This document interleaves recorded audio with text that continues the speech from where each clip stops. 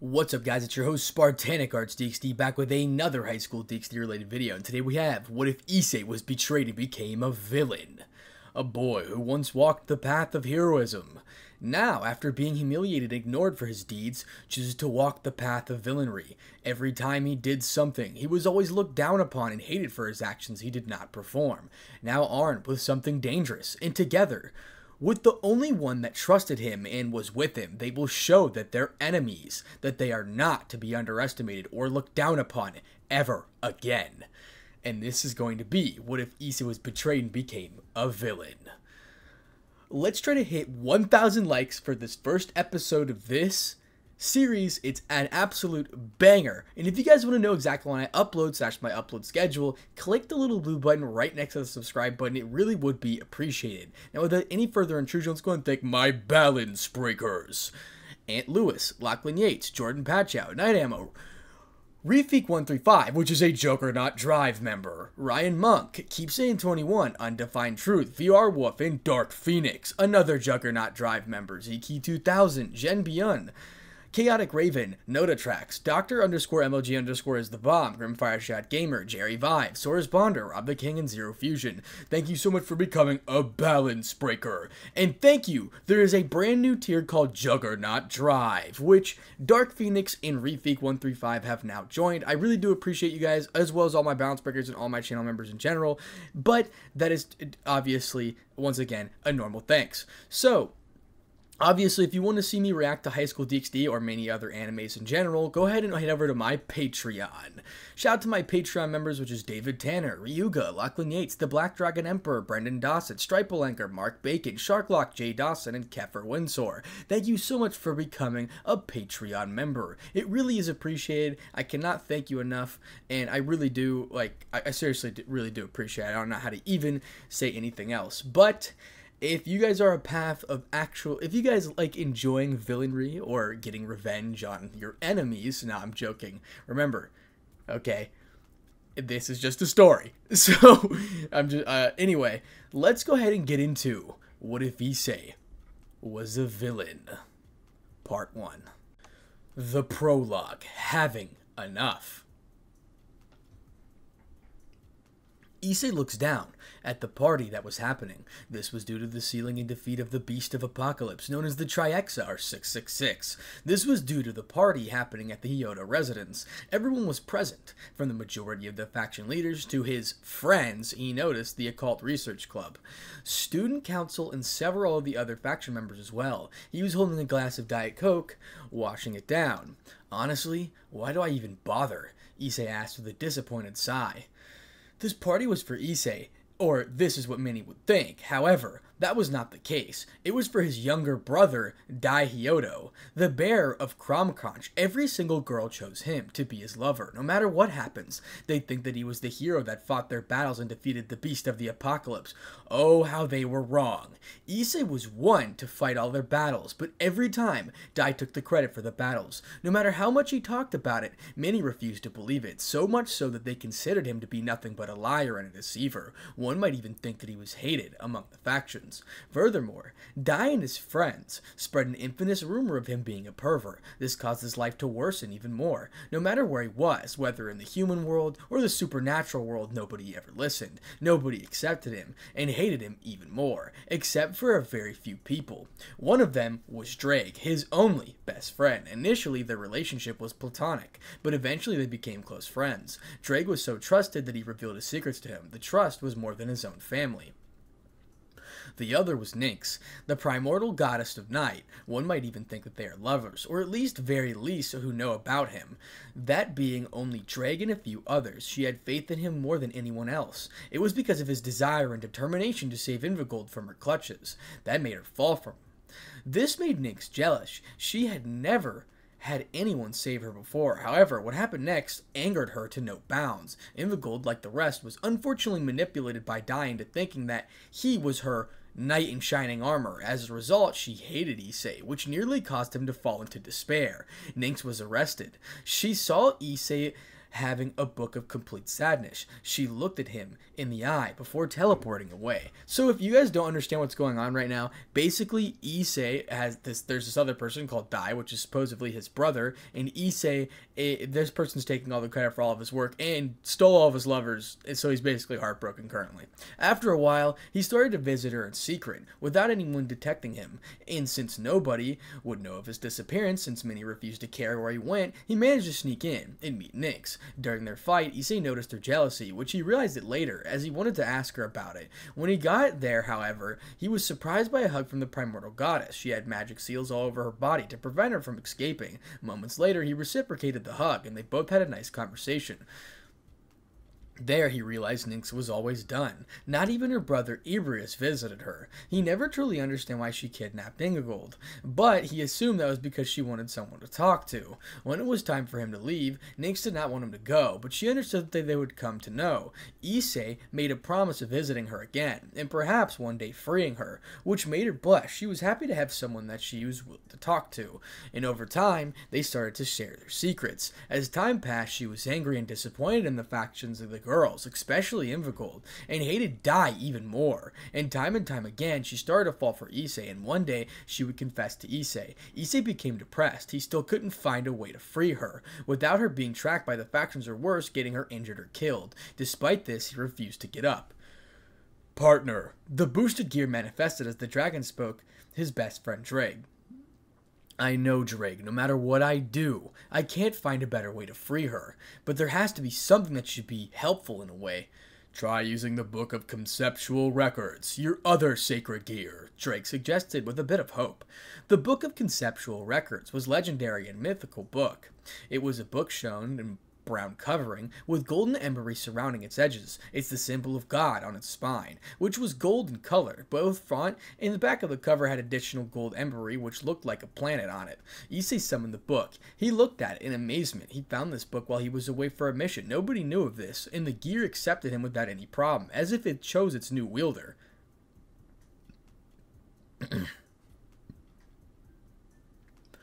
Once opened, the book had records of every sacred gear up to date, including the undiscovered ones like the Nereid Kyrie of Alpaca Tyrant, which she had never heard of. This also included the Longinus, as well as other sacred gears known. In addition to that, it also allows the user to create any sacred gear so he desires. He tried to, this with Divine Dividing, and lo and behold, two wings came on his back, which performed the same way regular Divine Dividing would do. He could even alter the gear and remove any and all limitations, allowing him to use the gear to their fullest potential. In other words, he can clone the said sacred gear and use it to its full potential without the original user being able to sense, or a heaven system detecting its presence. This was great for the factions not finding out about this sacred gear. Issei theorized this sacred gear to be beyond Longinus tier. Anyone who wielded this was almost akin to a god. Nothing, Ddraig. Nothing. I got nothing, Issei spoke in a tone of full sadness. Come on, partner. You never gave up fighting against the Trihexa. You give up fighting any of your former foes. Why are you giving up now? Ddraig cheered his host up. Ddraig remembered that aside from Nyx and himself, Great Red and Ophis trusted him as well. They were able to see the reality of Dai. Ophis even went so far as to help them see, but nobody trusted her. She eventually gave up as well. Issei started to rack his brain. He always found a way to defeat his foes, but only everyone only saw Dai to be their savior. It then clicked. He had to wait for the right opportunity. However, he refused to help the factions ever again. They were never grateful to him to begin with, and only insulted and humiliated him. They are on their own, and when they have to deal with a bigger threat, Issei will not help them. Never again. Unless he has something to gain in return. No more selflessness. I have an idea, Issei spoke with a tone of seriousness. Partner, are you sure of this?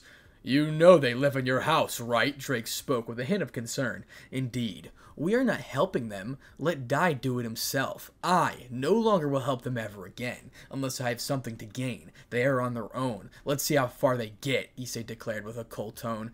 Ddraig could only watch his host with surprise. The boy that once helped the factions was gone, killed by the same people he protected and cherished unconditionally. He was also not a big fan of the factions either, and he could not blame him for having the thought process.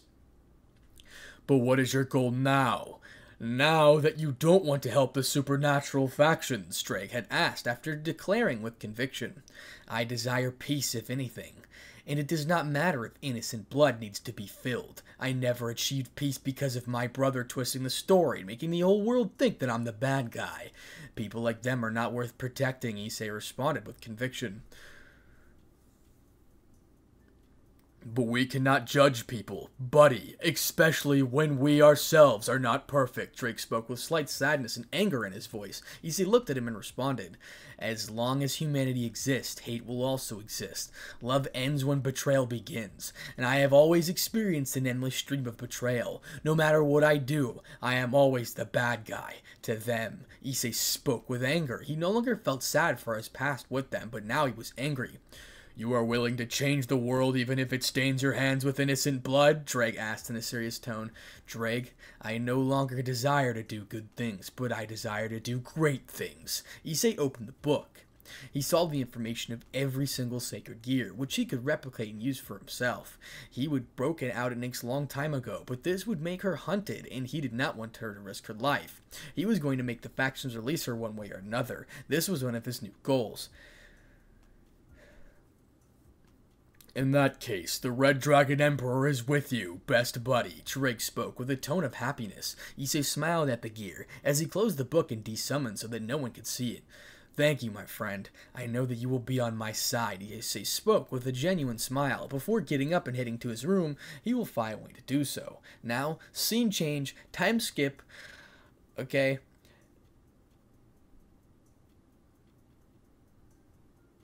One year later, we're at the underworld and it's 5:30 a.m. One year has passed since the events of Sealing the Beast. There were three heroes. There were Dai Hyodo, the youngest of the Hyodo children. He looked just like the older brother Issei. However, unlike them, he was fair-skinned and had shorter hair. He wielded twin gauntlets called Crescent Moon gauntlets that held the soul of the strongest evil dragon, Crom Cruach. The second was Akiya Hyodo, the younger sister of Hyodo, Issei Hyodo. She was a beautiful brown-haired girl with long wavy hair. She was also had a huge chest, as well as a pretty face. One might say that she had a lot of similarities in terms of looks compared to Issei. She wielded the Chaos Talon, a blue talon that covered her entire left hand. It almost felt like the whole weapon covered his hand. And finally, the third hero. Valerie Lucifer was described to be a slim young woman below average height. She has long, white hair, which curly slides at the ends, which two bangs framing her face and reaching down to her chest. Her hairstyle's most distinctive trait is short, upward ponytail obtained by gathering and trying hair covering her forehead. She has large blue eyes and a curvy, voluptuous body with large breasts. All three were considered heroes, but one of them was outstanding hero. However, four months and an entity had attacked them. He was a bald headed being with blue haired marks that had a blue tattoo on his forehead, and all were two meters tall in height. He had a metal jaw and wore skin tight red colored body armor draped in half cape black cloth. The entity had decided to judge one of the seraphs of heaven, that being Gabriel, for the sins that she had committed. None of the angels under her could stop him. He judged her in the name of the Father. He once used his abilities to completely traumatize her, causing her to have a lifeless look. Many didn't understand whom the entity talked about. In the aftermath, Gabriel was completely traumatized. She often used to scream in what seemed to be as many as pain and fear at random times. It was not due to fear of the man, or fear itself. Several wanted to look for him, but he was never seen again at least not until two months ago, where he attacked members of Team DXD, leaving several injured, some even hospitalized. Many assumed Dai would be able to stop him, but he failed to do so. Furthermore, the man used a trick that turned Invigil singing against Dai or anyone that was a dragon or have dragon-based sacred gears. As a result of helping them, it instead hurt them, which the entities seemed to be enjoying a lot, especially when Dai was suffering. In the aftermath, Invigil realized that her singing was actually harming her friends, causing her to stop using it. Since, now that she has many others deemed her sacred gear to be dangerous, this caused a great blow to her morale, because she loves singing. Now, scene change, we're in the Underworld conference room at 6 a.m. Many leaders have gathered here in the conference room, that being the different factions from the Devil's side. It was the four Satans, Sirzechs Lucifer, Serafall Leviathan, Ajuka Beelzebub, and Falbium Asmodeus. They were accompanied, accompanied by Grayfia Lucifuge and Sirzechs's queen. From the Angel's side was Archangel Michael, Seraph Gabriel, Seraph Raphael, and they were accompanied by their escorts Griselda, Corda, and Irina Shidou. From the Fallen Angels side were the governor, uh, Shamazin, along with Catrice, Azazel, Baraqiel, and Pamin. From the yokai side were Queen Yasaka and her daughter Kunou. From the vampires, it was Eldum, Kanchin, and the Valerie Tepes. From the Norse side was All Father Odin, his wife Freya, their sons Thor and Vidar, and as well as the Valkyrie Gondol, who was Rossweisse's grandmother. From the Greek side was the god of lightning Zeus, goddess of mirage Hera, gods of the seas of Poseidon, Virgin, goddess of hunt Artemis, and finally the Greek god of messages Hermes. From the Hindu side, there was one member from the triad that being Shiva, along with his wife Parvati, and god of thunder Indra.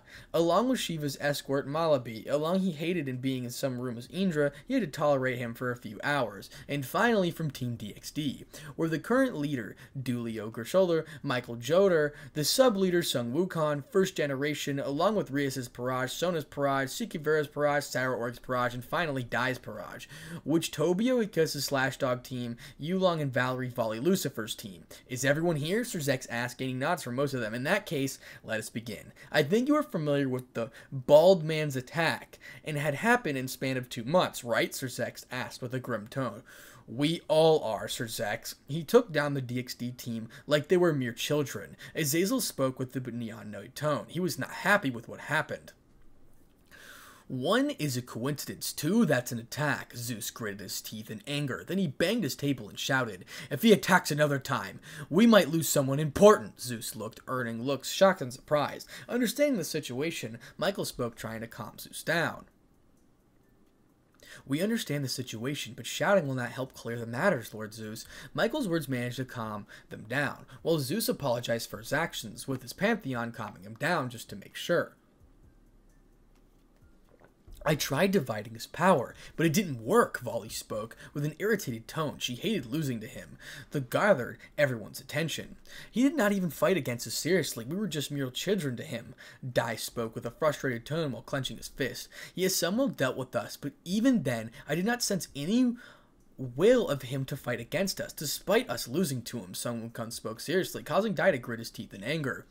This was be this being was able to possess as an angel, use telekinesis, and throw the DXD team around like they were ragdolls. In the use of music Miss Leviathan against you, he is not to be taken lightly, Athena spoke, while pointing to the DXD team. I am sorry. Had I not been allowed him to mimic my songs, none of this would have happened, Immigold spoke. While putting her head down, she was guilty for being responsible for it. It's not your fault, Immigold. Don't blame yourself for something you had no control of, Vali spoke, while putting her hand on her, trying to calm her down. Albion agreed to her carrier's words. However, Tobio did not have a look of tranquility. It was after he saw a recording that belonged to another man's fight that it happened with someone he never expected. Many of you might not believe. The only one that was able to face off against the man was Issei Hyodo. Tobio. Tobio spoke, surprising many. Everyone refused to believe that Issei would fight against him, let alone tie with him. You're kidding! All he does is get in everyone's way, Vali explained eagerly. No, take a look, Tobio showed the video recording. Everyone looked at the recording that Tobio had played on the video player, as they saw Issei himself face off against the man recording. Now, let's go into the recording. So you are the one that is getting in my way, huh? The man spoke with the screen, with Issei looking him dead in the eye. Issei removed a book, and the pair of two wings appeared on his back, and this was Divine Dividing. The man chuckled watching this as he asked, Divine Dividing, huh? The gear of that girl. What makes you think that would work? The man taunted Issei. However, he was unaffected. It might just work, who knows? It is that Vali doesn't even have access to the full potential of the gear. I managed to unlock it, Issei spoke seriously when he asked. What should I call you? Do you even have a name? Call me Malik, and today is going to be your end, Issei Hyodo. Malik spoke with a grin, despite it not being visible. Very well then, Malik. Don't blame me for what happens next. Balance break. Issei entered into his balance breaker. It looked just like Vali's own balance breaker. Malik tried to use telekinesis, but Issei had a simple dagger on his left side that nullified the balance break. Damn it! You have that blade! The gear That counters my telekinesis, Malik shouted angrily as Issei started to use Divide on him. He started to lose power. Issei went towards Malik as he used the red blade to fight off against Issei, with the latter being surprisingly good with a sword, blocking most of his strikes and evading some of it with ease. He then slashed Malik, causing his grip to loosen. Issei ended the fight with a kick as he dropped his blade. He was on his knees as Issei pointed his blade to his neck. Any last words? Just two. See you. With that, Malik started to glow, forcing Issei behind. He then escaped a while later. There was no Malik or Blade with him. Issei looked at his hand and gritted his teeth and exclaimed, Damn it! Issei flew away with his wings. After Malik escaped, the recording then stopped. Now, the end of the recording. Many were shocked seeing this. However, several were angry, especially Vali, Albion, and Dai. Dai assumed that he should not deserve this power, while Albion and Vali were angry due to him having copied Divine Dividing to defeat him when they failed to do so. Damn him! Vali said angrily. His aura was radiating through the office as Azazel shouted in response. I know you are mad, Vali, Albion, but please calm down. There is nothing we can do. It's all in the past. Vali looked at him and calmed down for mere moments later. She took a deep he took a deep breath and gritted her teeth while trying to control her anger. She was not happy about what happened. It seemed that Brad is hiding his true strength. He is more than what he is. Odin spoke while rubbing his chin. His tone was calm, but he was worried about his strength. All this time he was hiding it. And there was no change in the system. He was able to copy one of the Longinus and its abilities, not to mention that book allowed him to copy the gear. We don't know what that is, Michael spoke with annoyance. He was not happy that the fact that Issei had a Longinus like that, without him coming to know. But despite this, some found a recording to be off, especially those that were smart, like Emily Kerns, Ajuka Beelzebub, Sona Sitri, Serafall Leviathan, and Azazel. Even Tobio and Athena were put off by the fight, as they knew both of them seemed to be acting and we were very good at it as well. Not to mention, everyone noticed the book seeing it for the very first time. Is it just me, or was this sort of an act? Ajuka thought. Well, both of them did not change their places when they fought. Either way, I will be sending Grayfia to fetch Issei. He should be here in a few minutes, hopefully. Sirzechs spoke with a serious tone. With the room, after leaving the room, the others could only wait for him to show up. That disgrace of my brother hid his real strength from me. I will make him regret it, Dai thought with anger and hatred. All he could do was wait for him to show. Now, scene change Hyodo residence at 7 p.m. Issei was sitting on the roof of the residence. He looked for the Mortis blade. It still needed to be worked upon. It was a sacred gear that can kill gods. He then spoke. I need to work on this. The gods are known to have strong fertility. Issei spoke in a calm tone. He then remembered the camera that was present. Signing, he wondered to know the factions how react when they found out about this. So many would want answers from me. I can imagine that this will happen, especially with them. Issei spoke coldly, and then the word them was spoke with disgust. Moments later, a magic circle appeared. It was Grayfia Lucifuge. Seeing him on sitting on the roof, he gave a cold glare to her and asked, what do you want, Grayfia? Hyodo, the faction leaders have asked you to come to the meeting. Grayfia spoke with a serious tone as Issei scoffed and responded. And if I don't come, what will you do? Issei spoke with a mocking smile. Then you give me no choice. Grayfia was ready to bring him in by force. Issei sighs in response as the book comes in hands.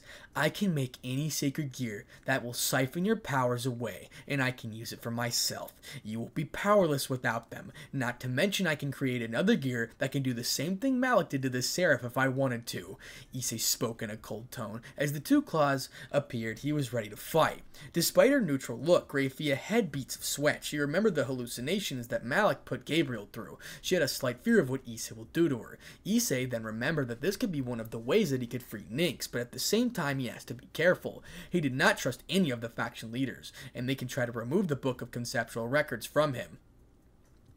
I need to make some security systems to the book. Let's see how the factions will remove me will remove them from me. Issei thought with a mocking grin. He looked at Grayfia, who was worried on what Issei will do to her as he spoke. Let's get this over with. Issei spoke with a cold tone. He dispelled the book in the gears and headed with Grayfia to the meeting room. Now, scene change, Underworld conference room at 7.30 a.m. All the leaders in the room heard two footsteps approaching them. Dai hid his annoyance with a fake smile, while some gods looked at him with curiosity. Issei looked at the scene with no interest. He looked at the floor, wanting to go home and work on the Mortis blade. It still needed to be worked on. Thank you, Grayfia, for bringing me bringing him here. Sirzechs spoke with a smile to his queen. With the latter nodding and leaving, he turned his attention to Issei, who was not interested in even looking at them. Brother, have some self-respect for the leaders. Akiya spoke clearly, annoyed by her brother's attitude. Issei did not bother to hear his sister's voice as Azazel spoke. Boy, we need to ask you some questions about Malik. Will you answer them? Azazel asked in a serious tone. No, Issei responded while looking at the former governor general dead in the eye. You're not going to answer, Hyodo? Don't you realize how important this is? Sona spoke in a serious tone. You want me to answer, huh? What do I get in return? Issei spoke while thinking that this would be a perfect chance for forward his request. Kid, you have no right to demand us for information, Zeus exclaimed in an aggrieved, angered tone. He was about to get up with Issei speaking with a chuckle. He showed no fear to the king of Olympus. Information ain't cheap. You want me to tell you about Malik? You need to give me something valuable in return. Is it just that he does not want to help his brother? Asia spoke with a glare. She was not happy with Issei had spoken, to which Issei smiled. You're right on that one, my dear foster sister. I'm going to not going to help anyone till I get something valuable in return. And where the f is my Diet Coke? I ordered it 15 minutes ago, Issei shouted in annoyance. Issei's words made many appalled by what he just spoke. Everyone was shocked by his attitudes, while the leaders were embarrassed at the pillar of the faction's brother and his attitude. A few minutes later, a maid showed up with a can as Issei spoke with happiness. Finally, my Diet Coke. Issei opened up and drank a little to check his taste. He looked at them and spoke. Now, we may continue with the negotiation, or should everyone go home? Your choice. Well, Sirzechs spoke, rubbing his head. What is it you want in return? Hmm, let me think. I demand the release of the primordial goddess Nynx in return. Issei spoke with a smile. The drink really refreshed his state. I refuse, Zeus responded in a cold manner. He hated Issei's attitude, and Issei spoke with a shrug. Well then, you're on your own with Malik. Are you crazy? She will control Invigold and attack us, Dai scolded his older brother, who didn't seem to care about the situation. Not my monkeys, not my circus. This is the price for the information, Issei spoke with a glare. He hardly cared what happens to Invigold at this point. In that case, we can copy his memories to see Malik, Dai spoke with fury, Issei responded. Try it, brother. I can make a gear, making me immune to memory siphoning. You only thought of what because you are surrounded, Dai taunted Issei with a mocking smile. However, Issei was unaffected. Then go ahead. I don't think your harem of monkeys will stop you, Issei responded in a mocking tone, with Dai going ahead to do so, only to be stopped by Crom Cruach, who manifested say, Don't do it! It's a trap! Crom spoke, wanting his host stopping his host from making a stupid mistake. Many were shocked by this. Then Issei spoke. It seems like there are some smart people in this room, Issei spoke with a smile as Crom responded. Not to mention what you are hiding up your ace up your sleeve, Crom spoke with a slightly worried tone. I was trying to sleep, but then they had to ruin it. Don't they, Crom Cruach? As an unknown voice was heard, those that knew of the voice were shocked as Zazel spoke with a shock. You are the Red Dragon Emperor! Indeed I am. And before you ask, this is the original boosted gear, not copy created by the book. Issei spoke with a smirk as Rias asked, But how did you, you only showed us, you're, you're twice critical. I saw no reason to show you this. Plus you never asked before, Issei spoke with a neutral tone. They never bothered to ask him about his sacred gear since Issei's manifested during his fight against Raynare, but reverted to a twice critical form as soon as after the fight. Not to mention, Dai took credit for beating the fallen angel, which Issei made Issei lose Asia as well. As well, she saw Dai as her survivor. Not to mention, Rias supported Dai's claims, making Asia believe that Issei was just a perverted liar. That's right, Crow and Bat, my partner made the right choice of not telling you anything. That's right, Crow and Bat. My partner made the right choice of not telling you anything, Ddraig spoke with a serious.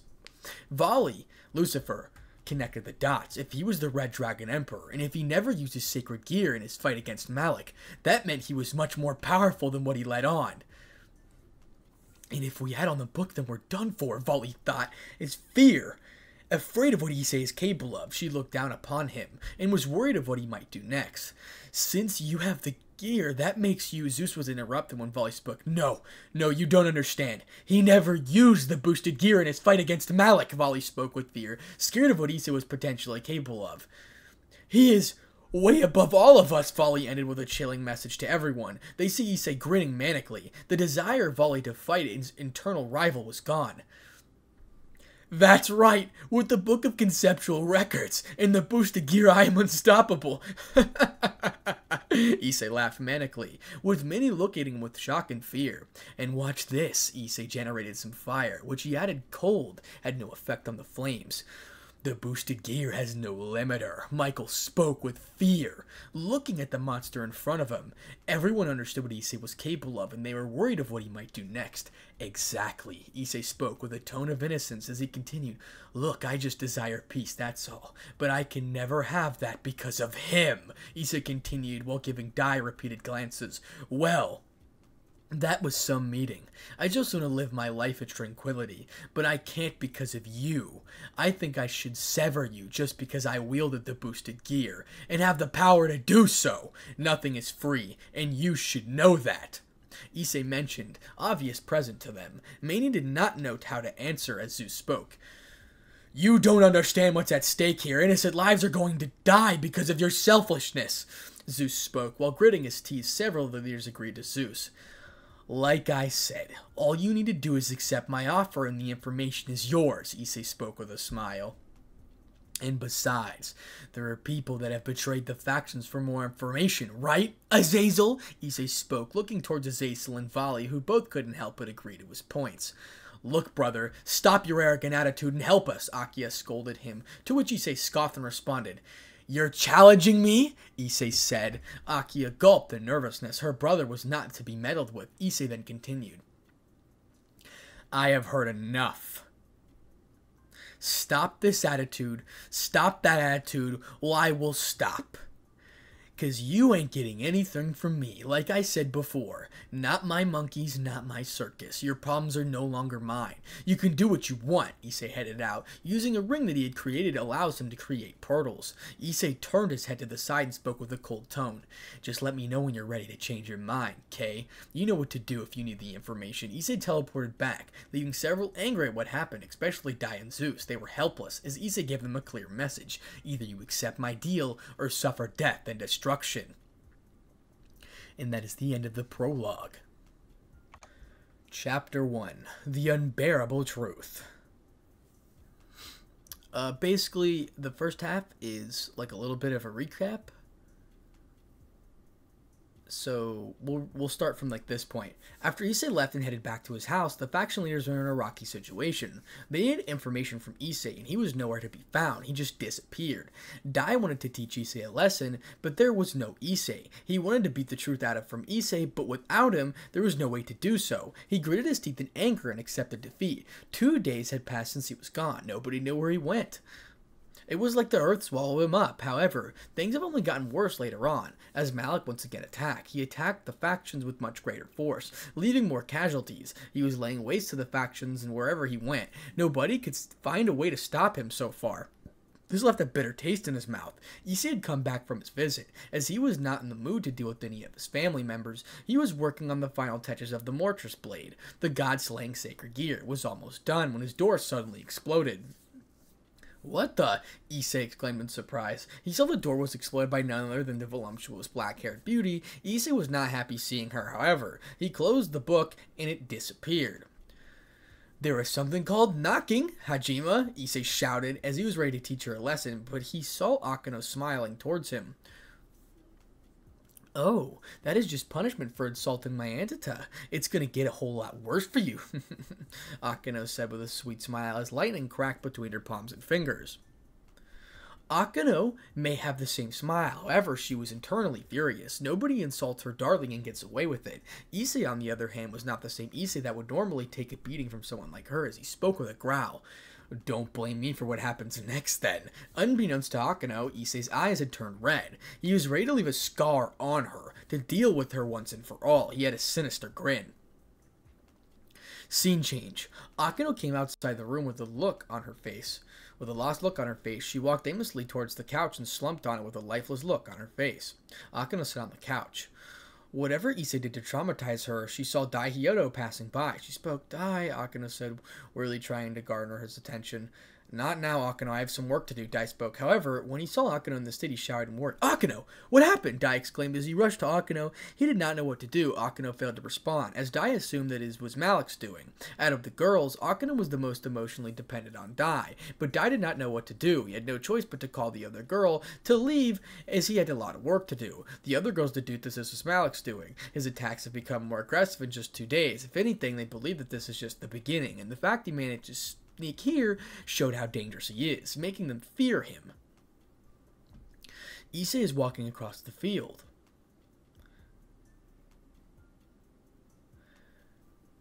Malik is surrounded by the burning remains of the guard. Issei and are seen by the side looking at the screen. A book shows up as Issei comes in the strongest Red Dragon Emperor. Dai Hyodo is seen with a sinister smirk, with Ria standing next to him. Asia and other girls are fighting against Malik using magic. Akiya looks and walking through the puddle. The ORC Student Council Volley Team, Team Slashdog are shown, all as a pair of angry eyes glare at them. Issei looks at the book, remembering his past well. The visions of the factions falling apart. Ingvild looks at the figure of Dai as she crushes it, tears falling from her eyes, anger on her face. A white haired female angel and it had a silver haired woman watch their factions with disdain. Ingvild closed her eyes and looks at Dai with a determined look. Issei is on his knees, his past haunting him, as a family photo shows up with a slash on it. Issei is separated from his family. He looks at his brother in the eye as they both clash their swords. Is the opening end. Ingvild looked at her condition in sadness. She had been slipping into deeper slumbers over and over again. The past few days, she assumed that her sickness has gone due to the medicine that Dai gave her. However, in reality, it was Issei that made the medicine. How is this possible? Ingvild spoke with worry and fear. Ingvild noticed that her illness returning was not a good sign. She had approached Dai multiple times, but he ignored her. This caused her great sadness and depression. Furthermore, her illness reduced her magic power significantly, which almost made her even more weak than she already was. Why, Dai? Why are you ignoring me? Ingvild murmured with sadness as she wanted to support her more than ever. But every time she approached him, he ignored her, making excuses of either training or preparing for another meeting. Ingvild left the room. She was worried her sickness would return. She wanted to go for a walk to refresh her mind. Ingvild had heard some of the upstairs talking to someone as she looked. She heard more noise. Yeah, the Mortress Blade needs some work. After even the gods will not be a problem for me to deal with. The person spoke in a calm voice. Issei Ingvild spoke in a surprised tone. She wondered what Issei was talking about, and against her better judgment, she headed up there. Little did she know that her visit to the top will prove to be a wake-up call for her. Scene change, and Will reached the roof when she saw Issei talking to a cloaked man. She wondered what he was talking about. Ever since Malik's attack, many had wanted to talk to Issei in order to convince him to help, but every time he was either missing or never showing up, she either wondered what he was doing here or who he was talking to. Indeed, after that we will be unstoppable. No god or devil will be able to touch us, the figure spoke with a smile. Ingvild was shocked and horrified who Issei was talking to. Even then, it's a shame that the factions are in a toss. I mean, they have no way of defending with the current threat, Issei spoke in a mocking tone. Not to mention their hero is nothing but a poser and a liar. It is a shame that the factions are fools and their leaders are nothing but prideful idiots. The cloaked man spoke with a mocking tone. This irritated and angered Ingvild as she thought, Who the hell is he? Ingvild thought as he angered as they insulted her lover and the rest of the factions. I guess but then again, the factions are not my problem. They can do whatever they want, whenever they want, Issei spoke in a cold tone, not caring for the factions anymore. His voice was cold and nitrogen iced, with no warmth and emotion at all. Ingvild was surprised by this. She had never seen Issei speak in such a cold manner. Every time Issei spoke to her, it was calm and warm manner, but she was cold to him, thinking that he was a liar. Speaking of which, what more sacred gear are you planning to recreate? The man asked with interest, wondering what Issei was thinking.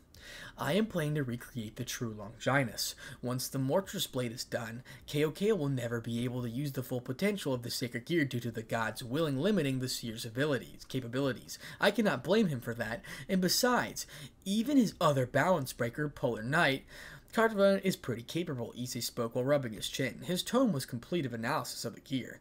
That's true. I mean, you did damage to defeat him and before finding the book, but then again, your brother has always took credit for what you did, right? The man spoke with a slight sadness in his tone.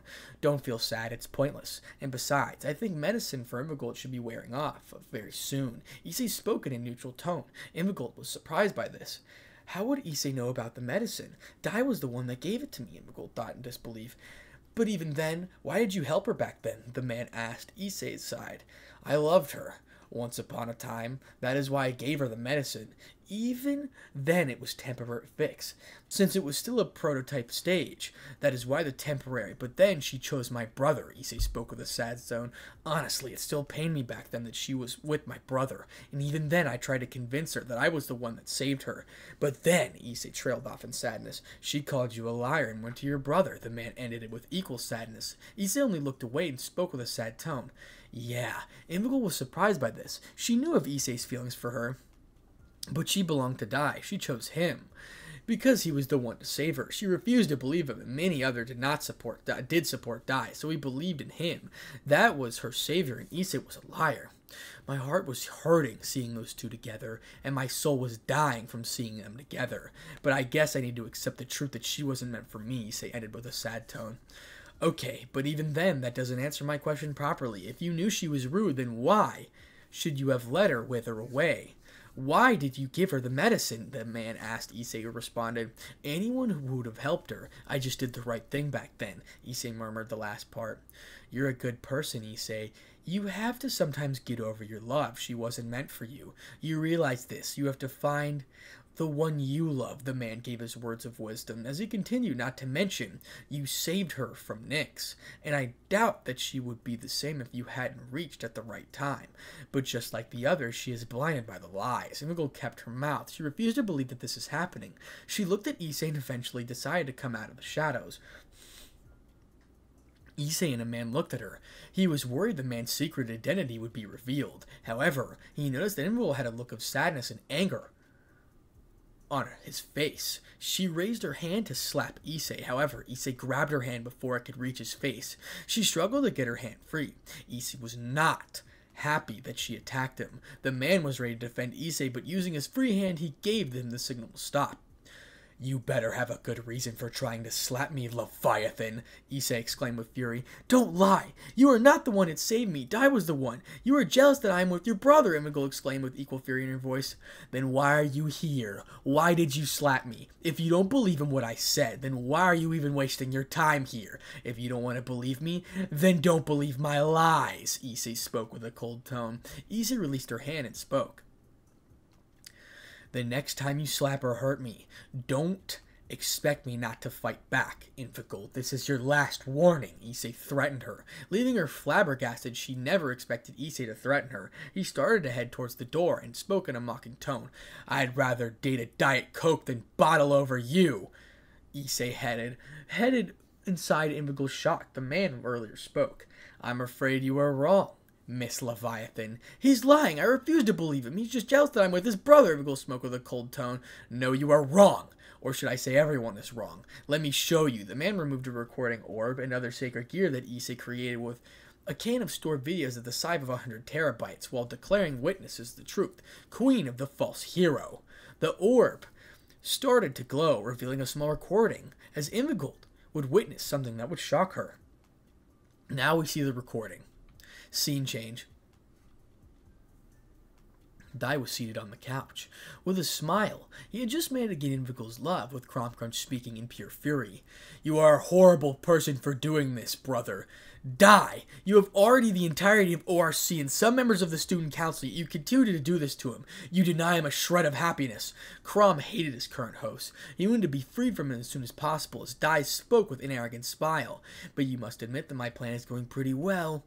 The truth will come out one day. I am only helping you because I don't have a choice. When I got sealed in the gear, you are using me for your own benefits. You use my power for your own selfish benefits, Cruach spoke with a pure cold tone, filled to the brim with spite. All dragons trapped in the sacred gear can watch and not control their host's actions. If they want to use their power, they will.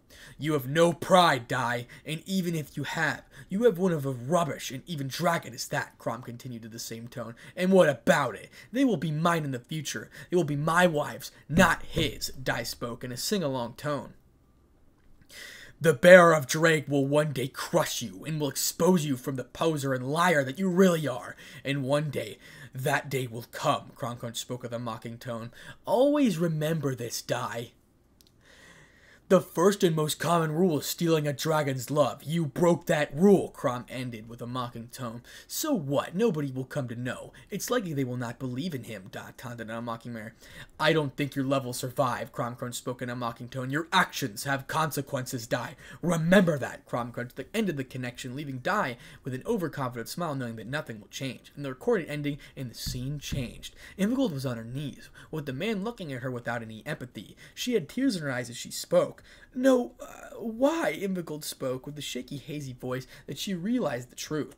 The man then spoke, but I am not done yet. You should have seen he nearly died for your sake. This happened as before you saw. The man removed another recording gear and showed him an additional recording. Her an additional recording. Now the recording was playing. Issei was on the ground. He had several wounds on his body. He was passed out with several wounds on his body, as well as a pool of blood on the ground where he was. Partner, stay alive, Ddraig shouted in worry. Beside him was an unconscious Ingvild and a damaged Nyx. She was also out of the fight, as her godly killer virgin clothing was destroyed, leaving her naked body. Then, that is when Dai showed up seeing the situation. He had a sinister smile as he spoke. It's time to be the hero. As well white of beauty, I must admit that my brother has always made good choice in women. Dai spoke with a grin, looking at Ingvild. Dai decided to wake up Ingvild, and tell her the lie that he was the one that saved her. Ddraig wanted to reveal the truth, but he made a promise to his partner to keep to himself, hidden from the rest of the supernatural world. He hated that he must follow a promise, even if it ends up hurting his best friend due to his pride. He gritted his teeth in fury, and he wanted to escape the gear and burn Dai to the very soul, but there was nothing he could do. He was stuck in the gear. After that, Issei woke up. When he was being healed up, he saw that Dai with Ingvild, and it broke his heart. He was too weak to talk to Ingvild and reveal her truth. Furthermore, Rias and the others were also there, telling that Dai was her savior, and eventually they believed her lies. She believed her lies. The recording ends. The scene changes. Ingvild was on her knees. Seeing all of this, she was crying profusely as her sacred gear reacted to her sadness, seeing that Issei nearly died for her, and Dai was nothing but a bloody liar. She got up from the ground slowly, holding the gem up against her chest. I am sorry. I'm sorry. Please forgive me, Issei. If Ingvild spoke between sobs, she couldn't handle what she just saw. It was a huge slap to her face. Furthermore, she tried to slap Issei in the image of his condition. The man watched the utter coldness as the wind breeze dropped, revealing him to be none other than Malik. Now, where was the girl who protected that liar with her life? Malik spoke coldly. Before leaving them from here, no reason to give him a goal was unable to identify his voice. Was because he used magic to change his voice. As his, for his aura, he is capable of hiding it. Scene change. The next day, the Hyodo residence, 9:30 a.m. And that is where we're going to stop for now, ladies and gentlemen. So let me know if you guys have do like the story or if you want me to read another one. Because i mean i'm somewhat enjoying the villain arc series we have going on here at the same time. Obviously what if Issei left will be continued with the further chapters? And what if goku was in high school dxd will be in addition to all the series going on in general? Just because i really want to read something refreshing and something to do with a lot of power and fighting rather than just betrayal and sadness. Because honestly you know it's a lot of betrayal stories, but I really do enjoy them. I really do enjoy reading them, but I also want to include some characters that I really do love, like from Dragon Ball and Naruto, etc. You get the point. I've also been watching One Piece. I'm on like episode 165. It's not too bad. It's just, I don't think it's as good as Naruto yet. Maybe it'll get better in the future. I don't exactly know.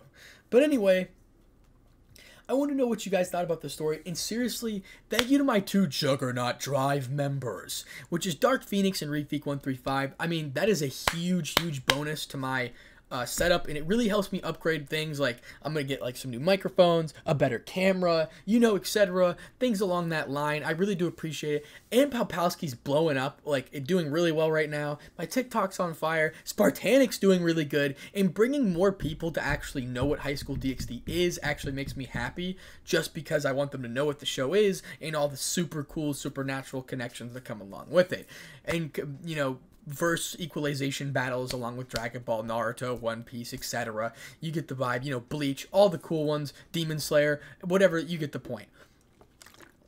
Thank you so Jujutsu Kaisen. Anyway, thank you so much for the support, ladies and gentlemen. If at all possible, we could literally hit 1,000 likes. That'd be absolutely amazing. Please hit the like button. I know you're in the premiere right now, or still currently in the premiere, hearing me talk. So it'd be absolutely amazing if you'd hit the premiere right now. 40,000 subscribers is a crazy goal. We're already at 41k. Let's keep it pushing. Without any further ado, ladies and gentlemen, Spartanic Artz DxD out.